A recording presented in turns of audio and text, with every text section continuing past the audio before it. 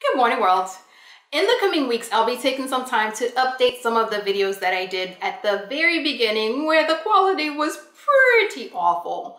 And so I wanted to update them and, you know, improve the quality and stuff like that. And um, the video, the series I'm working on right now was based on the book Breaking Through Infinity. I will post a link somewhere so that you can access it if you'd like. Uh, the so today we're talking about the five five requirements for making change. First of which is that you have to decide that you want something to change. You have to decide that you want a change. Make that decision and then you know kind of you know commit to the decision. And once you have made the decision, you need to identify possible targets for change.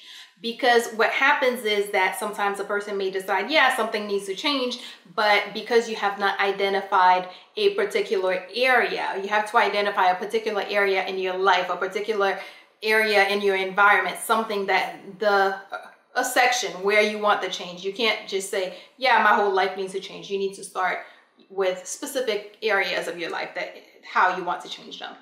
And then you need to start prioritizing your targets. Because when you do when especially because um, change in life is so personal when you're looking at making a change sometimes you'll have many different things that you'd like to improve or that you'd like to change.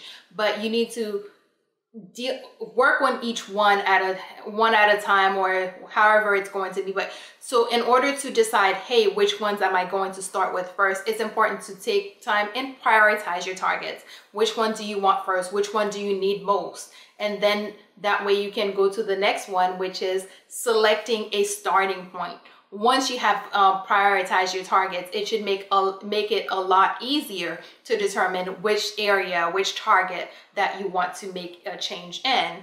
And of course, once you have done that, the next step is going to be to set a goal. It's more, it's not enough to have the, to make the decision and decide where you want the change. You need to start setting goals and because the goal is how you start actualizing, where you start making that desire for change materialize. The goal is where you start going from, hey, I wish, I hope, I would like, into, hey, I am getting this. And we'll talk about that in the coming days. So quick recap. One, you have to decide that you want a change and then you, you have to identify the targets, areas in your life that you would like to change. Then you have to take the time and prioritize your target, rank your targets, determine which one you want or need most. And then you have to select your starting points based on the priorities that you have identified. And finally, you need to start setting specific goals. And we'll be talking about that next. And that is all we have for today. Good morning, world. Have an awesome day.